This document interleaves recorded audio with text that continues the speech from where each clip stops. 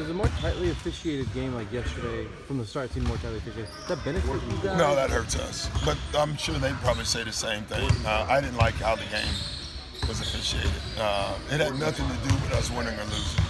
Uh, I just don't like when you come into the game with a point of emphasis of like I don't think this has been a contentious series. I think it's been made out to be. You know, KD and, and Pat are going at it, but they don't dislike each other. Then they're trying to fight. There's not, nothing, none of that has been in this series. So there was no reason to react. Yet you can see first three possessions. I was like, at this pace, the whole both teams will file out, and the fans will have to leave. You know, um, so I didn't. I don't like that in general, but that's the way it is, and you got to adjust.